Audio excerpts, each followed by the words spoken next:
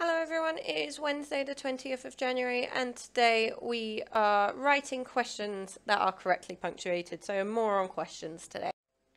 So, we are going to be focusing on non-chronological reports and we are going to create a class book of non-chronological reports on animals over the next few weeks.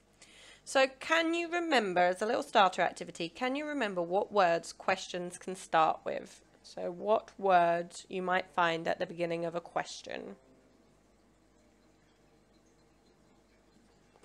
Okay, so you might find some of these words. These aren't all of the words you might find, but you might find who, what, when, where, why, and how at the beginning of questions.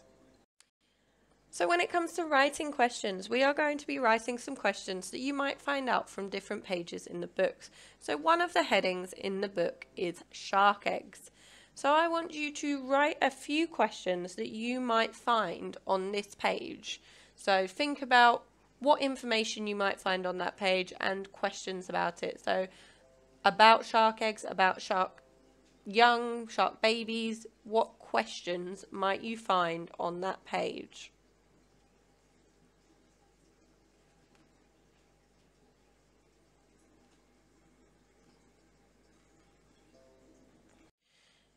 Okay, so you might ask questions such as how many babies do sharks have? What kind of eggs do sharks have? What are shark eggs made of? What do shark babies eat? So these are questions that you might have found out. So today's activity,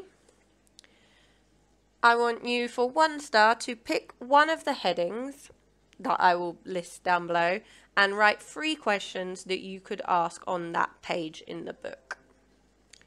For two star, I want you to write me three questions for two of the headings, so six questions in total.